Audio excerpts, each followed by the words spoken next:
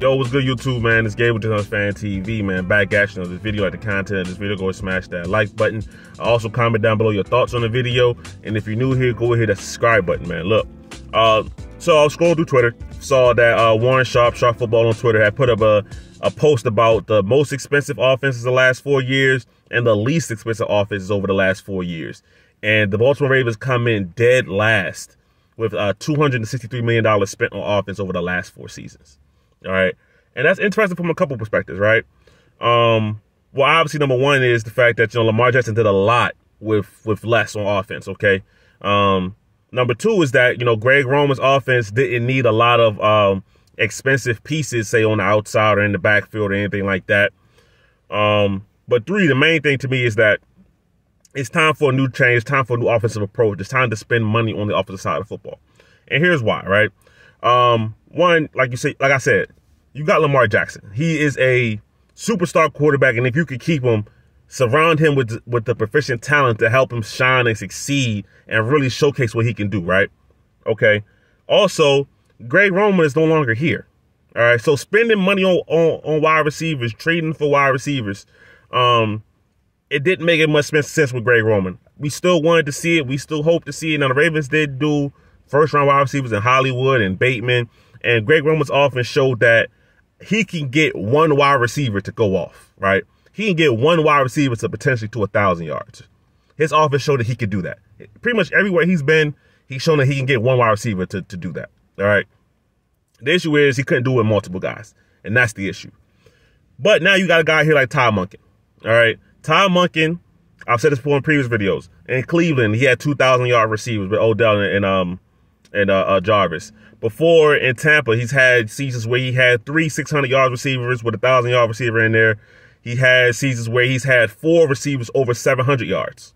Okay, that's highly productive. That's a good passing game. Okay, the Ravens need to take their time and energy to invest into this into this offense. It just has to happen. All right, and that leads to a, a big thing about what this is Lamar Jackson's contract.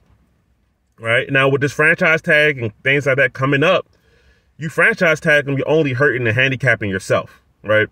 If the Ravens were able to sign Lamar Jackson, they were able to do anything that was able to come to some sort of an agreement, they could lower his cap hit and really invest and really put something together on this offense that will make this offense take it to a whole nother level.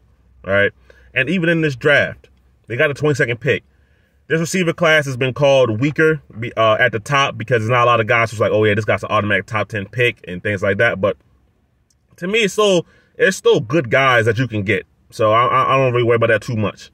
But at 22, if if guys like Zay Flowers are still there and and or Jordan Addison and um Jaxon Smith-Njigba from Ohio State, if, those, if guys like that are still there, I get the Ravens need cornerbacks. I do. But take another wide receiver. Take a, take something else that you could add explosiveness to this offense. All right. And I'm looking through this list, right? Because, you know, we got to have a list for context.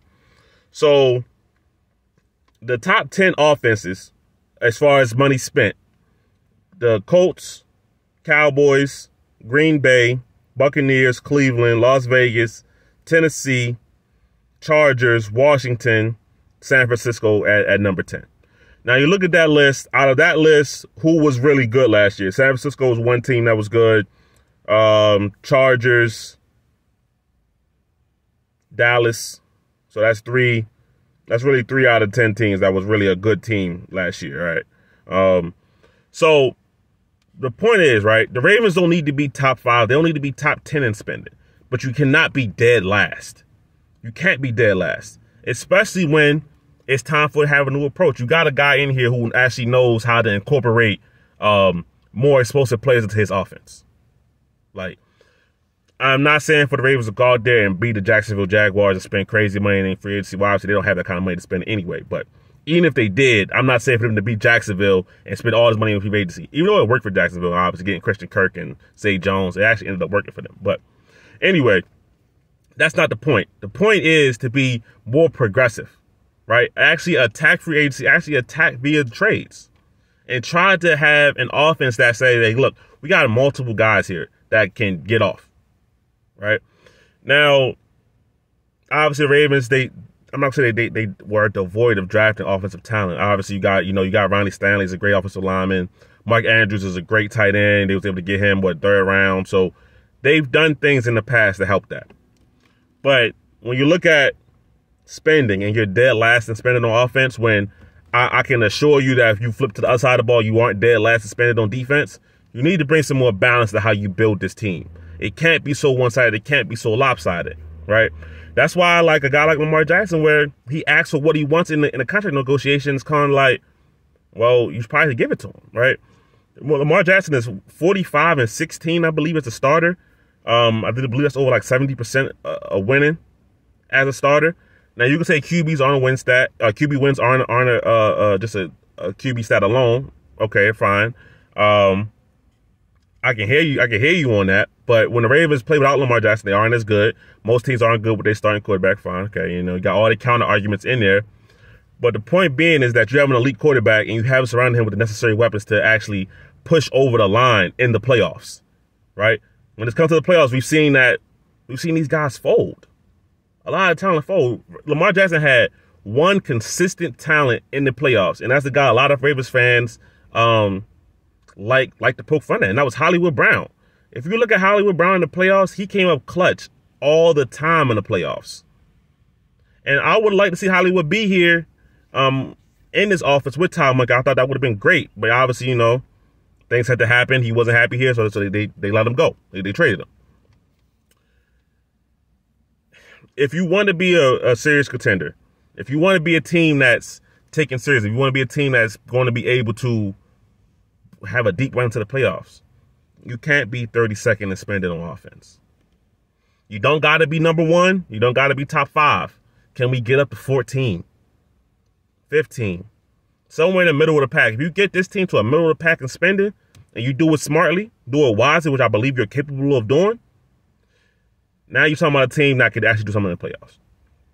I firmly believe that. Um, like I said, on this list, it's not a lot of teams that were good, but um, the Buccaneers did win a championship over the last four years. You know, so there are things in here that says like if you if you spend the money wisely, it can help you get reach that next point, help you go to that next level. It can happen. Um, you don't need to be crazy. Like being like the Colts being a number one and really have nothing to show for it that's not good. That's not what you want to see. But that's largely that's largely because they spent all that time, you know, getting these older quarterbacks in and not really being invested in the quarterback position. But the point is, you have a quarterback. Put the talent around the QB to make him as successful as possible. In my opinion, you have the offensive coordinator now. You have a guy who's going to run a real legitimate 21st century offense. Put the talent on the field. And even if, say, like, worst case scenario, Lamar Jackson is not your quarterback, right? Uh, I want Lamar Jackson to be here. He deserves the money. I would give him the deal. Say Lamar Jackson is not your quarterback. Whoever is your next QB is going to need a lot more help than Lamar Jackson needed. Whether it's a bridge veteran, whether it's a rookie, they're not going to be as good as Lamar Jackson. So they're going to need a lot more help, which means this 30 second spending is not going to cut it. You're going to need to do more. It's going to have to be more done to cover up for the gaps that Lamar Jackson covered up. Simple as that. So for the Ravens, the combines, the combines here, obviously draft prospects are there. It's going to be some guys that are going to fall up and down the field. One of those guys needs to be in the Ravens uniform. And free agency coming right up around the corner. What next next month, March? So it's time to spend money on offense like you spend money on defense. That way you can have a truly balanced and competitive football team. The fact that the Ravens even had a competent offense. It's a lot to do with Lamar Jackson. Now, you got Ridder Greg Roman, who was a major issue with why this offense was how, how it was, why you couldn't get wide receivers to come here and, and everything like that. Things that were blamed on Lamar Jackson that was really on Greg Roman. That problem is out the window. So now that that problem's out the window, take advantage and spend the money on offense. Like I said, you don't gotta jump to one, but jump to the middle of the pack at the very least. Um, and that's that's my that's my thoughts for today, man. We'll, uh, we'll probably talk tomorrow about you know Harbaugh and EDC, you know what they're to say at the um the, the, presser for the combine. But you know, but that's it for today, man. Yeah, let me know your thoughts on the video, and if you say to this point, go hit that subscribe button, man. Uh, it's your boy Gabriel, just another fan TV. I'm out.